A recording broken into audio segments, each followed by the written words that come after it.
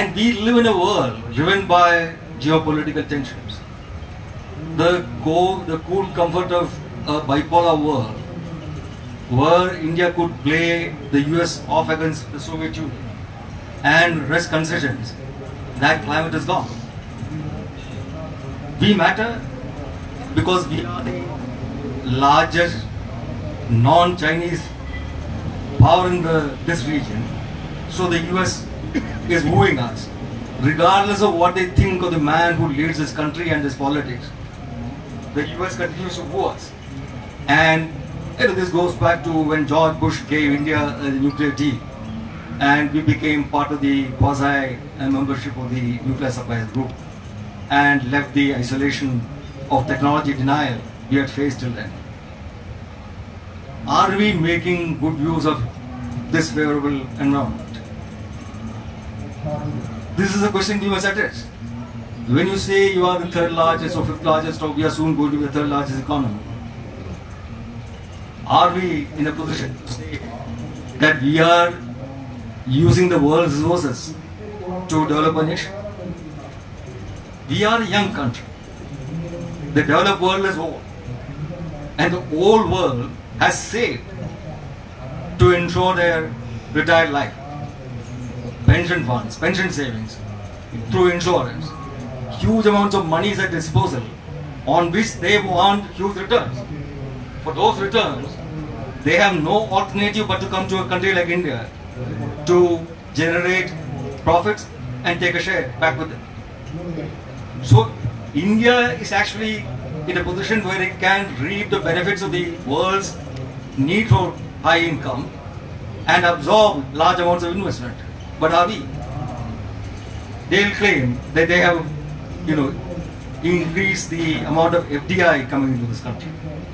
But FDI is actually uh, accumulating as foreign exchange reserves. Money comes in, but we are unable to absorb it in the real economy. And the unabsorbed money accumulates as foreign exchange reserves. Now, I mean, this needs to change, right? All transparency, digital payments, we have clamored out corruption, we have demonetized corruption out of the system.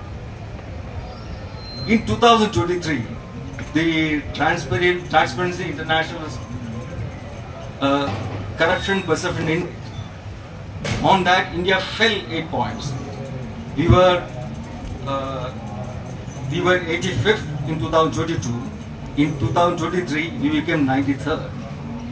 So our corruption levels are actually not going down; they are going up. If this country is perceived to be corrupt, what does it mean? If somebody puts his money in India, will that actually be used to generate returns for which they are investing in this country? If the returns are generated, will it be properly reported in your income statements? If it is reported, will you actually kick it back to the investor? On all this, on corporate governance, on reporting standards and the ability to generate actual income and return it, there is doubt.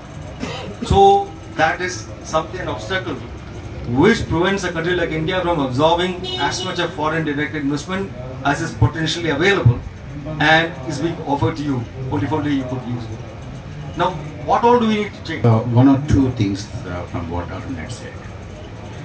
When uh, you know US or somebody looks at India, the World Bank looks at India, the IMF looks at India, or uh, you know what are those rating agencies uh, when they look at India? What do they look at? Do they look at 1.4 billion? They don't.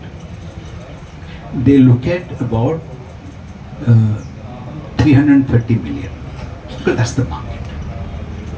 You you produce a fridge, they buy it. Car, they buy it. You know, uh, SUVs, they buy it.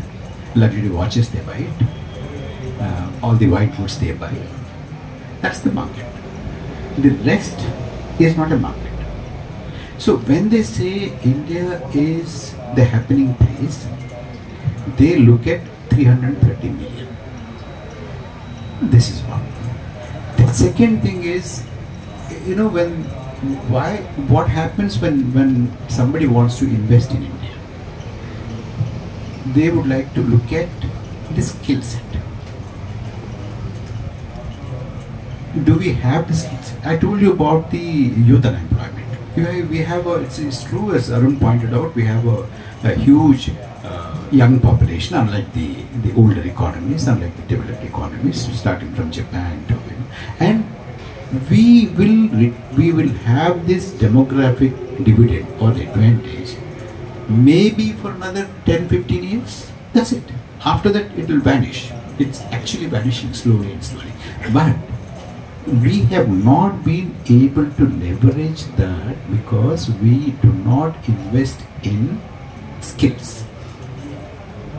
In spite of whatever the government has been telling us like skill india startup india Khelo India that india this india and all that we have not been investing in any of the uh, you know programs that really make our young population skillful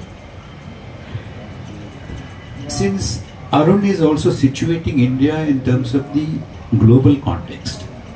Arun, you are aware that you know the the skill skilling, worker skilling. If you look at in Japan, I think it's about ninety percent. Ninety percent of the workforce and the potential workforce is trained, and South Korea is again very high. 85 or 86 percent.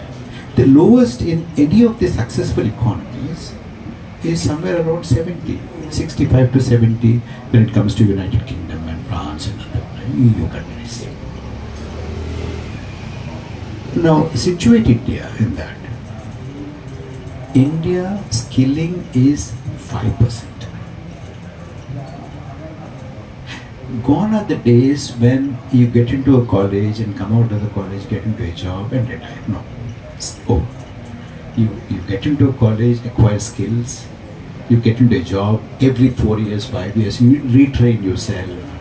So before, between your joining of a job and leaving your job, at least seven to eight times you are trained and retrained and trained and retrained. That's the that's the modern economy.